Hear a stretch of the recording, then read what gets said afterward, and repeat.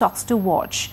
Tesco is keen to divest its Asia operations and has invited prospective bids for its Thailand and Malaysia operations. Now, with Sime Darby owning a 30% stake in the latter, Sime's shareholders could potentially be rewarded a special dividends per share of up to 25 cents should it sell this non-core asset for 2 billion US dollars. Now, next.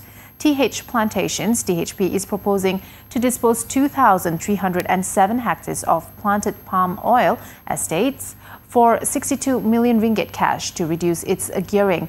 The move is expected to improve its pro forma gearing ratio and is part of its ongoing transformation exercise to regularize its balance sheet. However, THP is expected to make a small net loss of 2 million ringgit from the disposal.